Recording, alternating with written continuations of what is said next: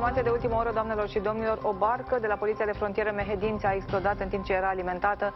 Doi polițiști de frontieră au fost răniți. Elena Alexandru vine chiar acum cu toate detaliile. Elena, te ascultăm.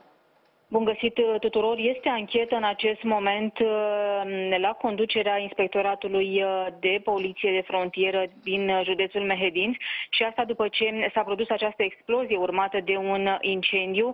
Așa cum spuneai și tu, barca respectivă ce aparține Poliției de Frontieră din județul Mehedinți se afla la alimentare în portul din Drobeta Turnu Severin. În acel moment s-a produs această explozie urmată de un incendiu, iar doi polițiști și un angajat din portul respectiv au suferit suferit uh, mai multe arsuri la nivelul corpului, iar în prezent uh, primesc îngrijiri medicale la spitalul uh, din Drobeta Turnu Severin. Este anchetă, așa cum spuneam, la nivelul acestei instituții, pentru că nu se cunosc motivele, nu se cunoaște cauza acestui incendiu, iar um, în prezent se desfășoară această anchetă. Nava respectivă se afla în port pentru a fi alimentată și urma să ajungă în portul din Giurgiu.